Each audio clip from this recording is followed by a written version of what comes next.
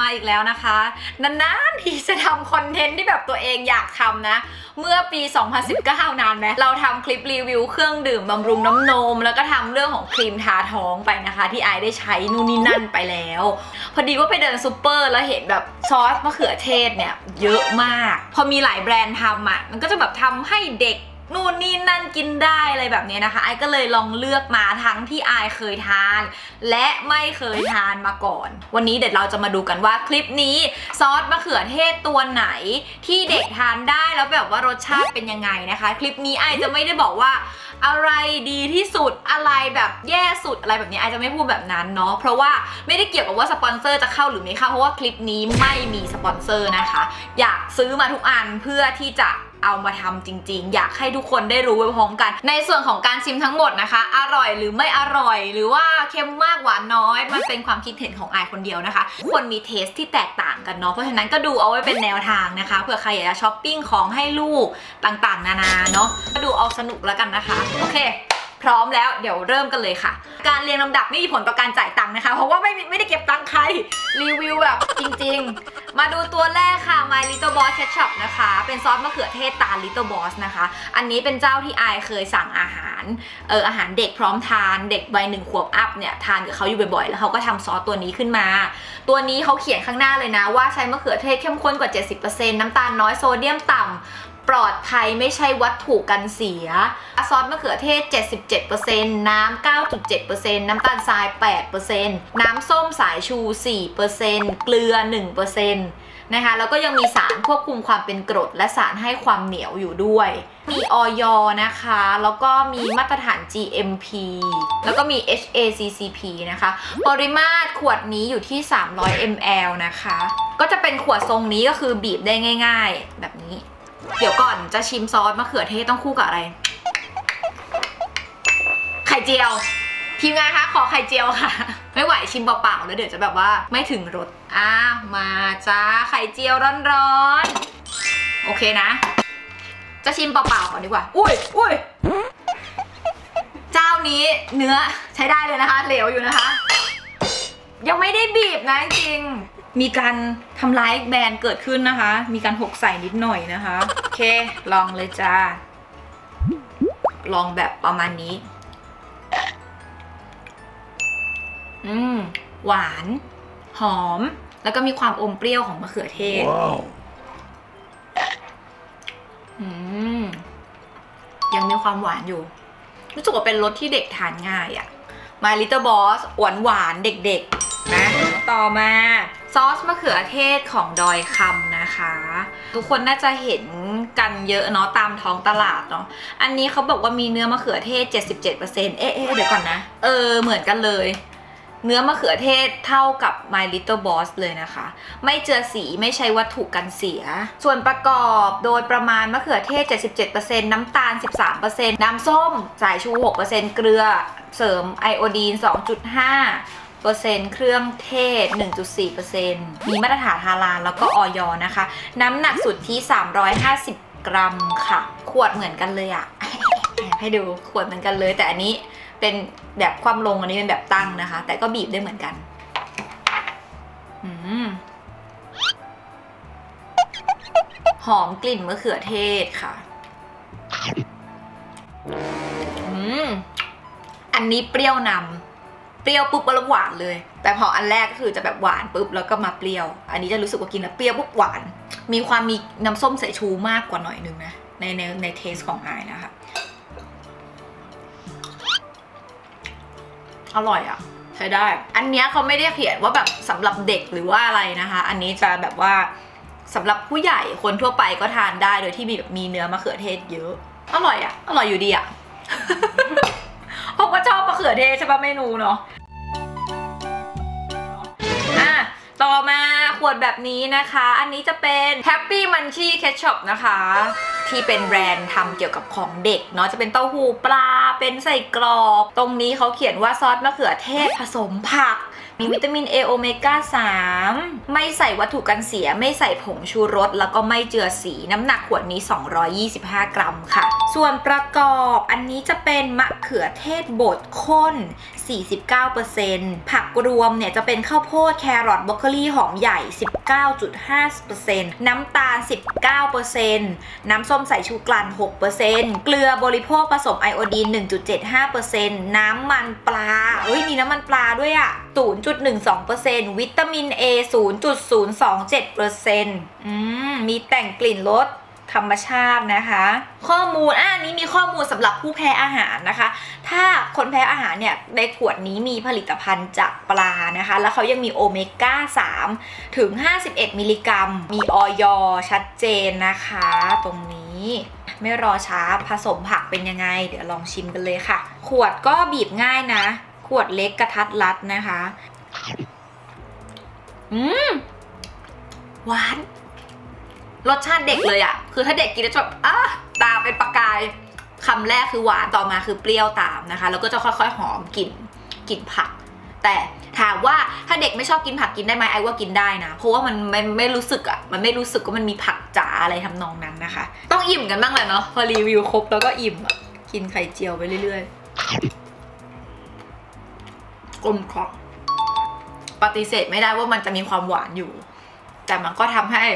รสชาติอาหารเนี่ยมีความนัว แล้วก็อร่อยมากขึ้น ต่อมา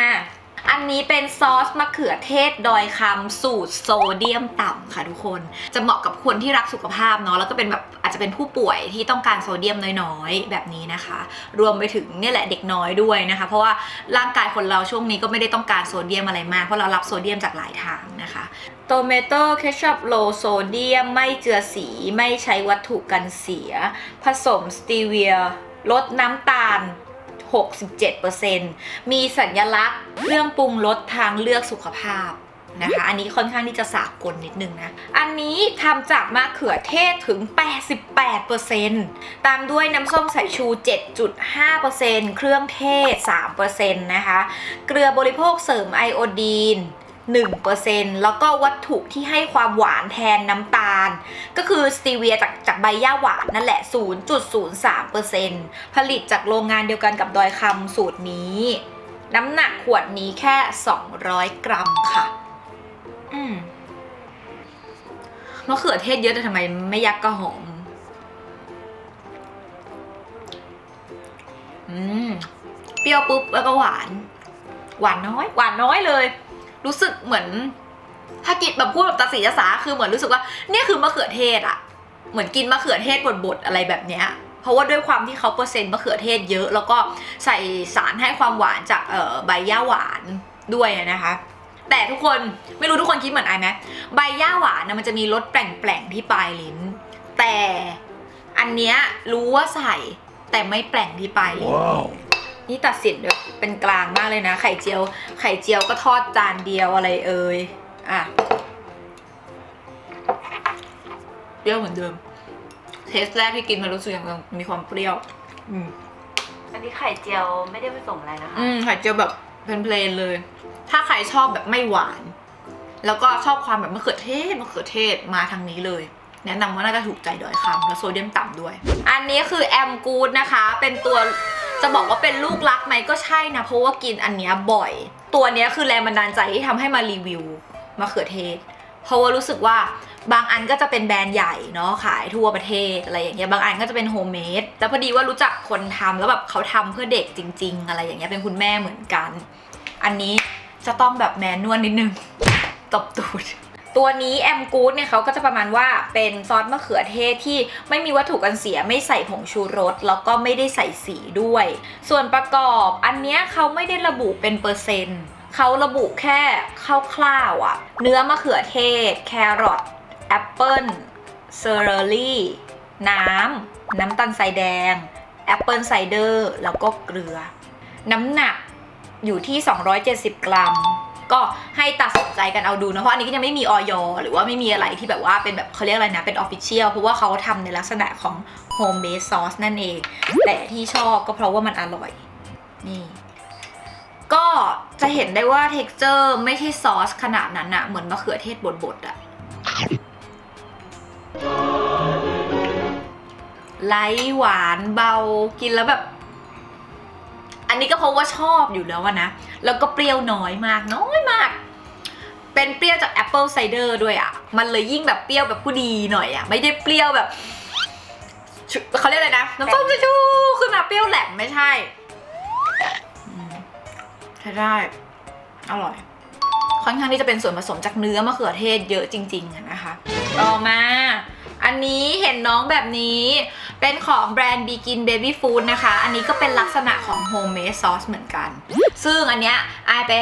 จริงๆไอเป็นลูกค้าเขาในเรื่องของของเส้น ซื้อพวกเส้นพาสต้าหรือว่าอะไรแบบเนี้ยแล้วก็คือไปไปพอดีไปเห็นของเขาขายอยู่ในช้อปปีก็เลยไปทักเจ้าของคุณแพทบอกว่าแบบมีพร้อมส่งมคุณพทบอกว่าอ๋อไม่ค่ะนนี้ทำเป็นแบบอาทิตย์ต่ออาทิตย์เลย รอส่งเป็นรอบๆ ตรงนี้ก็เลยจะเป็นขวดแก้วพร้อมฝานะคะ ทำมาจากซอสผักมะเขือเทศ ผสมความหวานของแอปเปิลสีแดง หอมใหญ่ celery แครอทด้วยเนื้อผักล้วนๆ ใช้จิ้มแทนซอสมะเขือเทศหรือว่าคลุกแทนพาสต้า อร่อยมากเหมาะกับเด็กเพิ่งเริ่มกิน อันนี้เนื้อค่อนข้างที่จะเหลวๆเลยนะคะ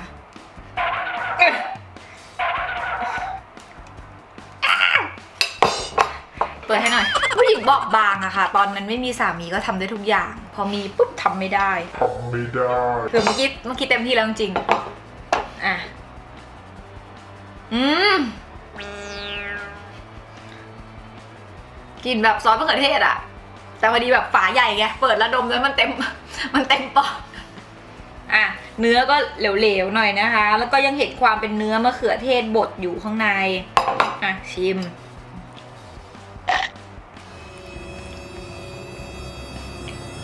original มะเขือเทศ มั่นใจมากว่าอันนี้มะเขือเทศเยอะมาก คือกลิ่นเหมือนมะเขือเทศแบบแม่เอาไปนึ่งแล้วมาบดอะค่ะ อย่างนั้นเลย หวานน้อยมาก มีกลิ่นเหมือนเครื่องเทศอยู่ด้วย ไม่ใช่ซอสมะเขือเทศจ๋าแบบแนวนี้ เป็นแบบเหมาะกับพาสต้าจัดๆเลย ไม่ใช่ ketchup นะคะ ต่อมาโรซาไลโคปีน จริง ๆ อันเนี้ยไม่ใช่ซอสมะเขือเทศถูกไหมแต่ว่าเป็นมะเขือเทศที่เขาเอาไว้ทำหลาย ๆ เมนูได้อะแบบจะไปปั่นเป็นเครื่องดื่มก็ได้ทำผสมโยเกิร์ตก็ได้ใช้หญ้าหวานแทนน้ำตาล แล้วก็มีไลโคปีนสูงถึง 55.8 มิลลิกรัมต่อ 310 กรัม มะเขือเทศถึง 90%โว้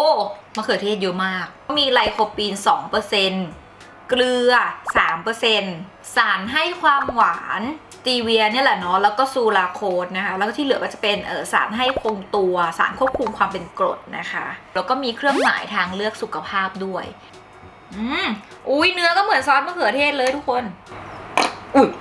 เฮ้ยตกใจอะขอชิมเลยนะอร่อยอ๋อคือมันไม่ขาว แล้วมันเป็นมะเขือเทศ แต่มันยังมีความปรุงแต่งในความหวานแบบ มีความแพงหน่อยอะเออ ยังไม่เคยเอาไปทำเมนูอะไรนะเพราะมันเพิ่งเปิดเมื่อกี้ น่าจะเอาลองไปทำเมนูที่มันเป็นแบบน้ำปั่นแม้หรือแบบโยเกิร์ตราดมันทำได้เลยอะมันมันไม่เหมือนกับน้องที่เป็น ketchup เป็นมะเขือเทศ แต่มันสามารถที่จะ adapt ไปเป็นเมนูคาวหวานได้ อืมคือจริงเลยนั่นแหละหวานนัว เข้มข้นมันไม่มีอะไรที่มันเป็นแบบเป็นเนื้อเนื้อเลยละเหมือนมันเนียนไปหมดเลย มาถึงตรงนี้ชิมไปหมดแล้วทุกตัว ให้เลือกว่าในความคิดอายอะไรเอาไปทำอะไรอร่อย ถ้าให้เลือกว่าจะเอาไปผัดข้าว ผัดข้าวอาจจะเลือกสองตัวนี้ เพราะว่าเหมือนได้รสแบบเขาเรียกอะไรกลมกล่อมแบบข้าวผัดอเมริกันอะไรอย่างเงี้ยเอาไปผัดข้าวเขาไปคู่กับข้าวแล้วมันเออเนี่ยแหละรสอย่างนี้เลยอะไรจะเอาไปแบบว่าทำสปาเกตตี้พาสต้าเพิ่มซอสมะเขือเทศไป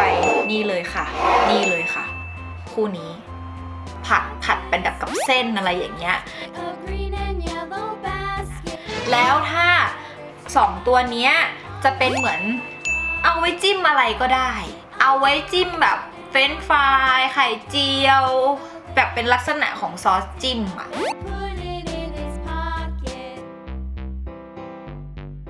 ส่วนอันนี้คาวหวาน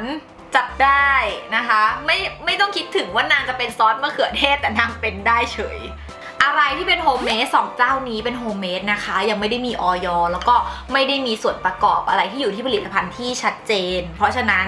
ถ้าใครรับความเป็น homemade ได้รับ ถ้ารับไม่ได้หรือว่าต้องการรู้อะไรแน่ชัด อะไรแบบนี้ก็ต้องข้ามไปนะคะ แต่ถามว่าอร่อยไหมก็คืออร่อย อร่อยคนละแบบด้วยส่วนถ้าอะไรที่เป็นแบบหาซื้อง่ายก็คงจะไม่ไม่พ้นโลซ่าเนาะไม่พ้นดอยคำเพราะว่าค่อนข้างที่จะแมส แล้วก็อะไรที่รักสุขภาพ อะไรที่รักสุขภาพก็คงจะต้องยกให้ 2 ตัวนี้ ที่มีสัญลักษณ์ทางเลือกสุขภาพ หวานน้อยด้วยที่สำคัญอันนี้คือหวานน้อยนะคะ ไม่เฉพาะเด็กหรอกคนโตก็ทานได้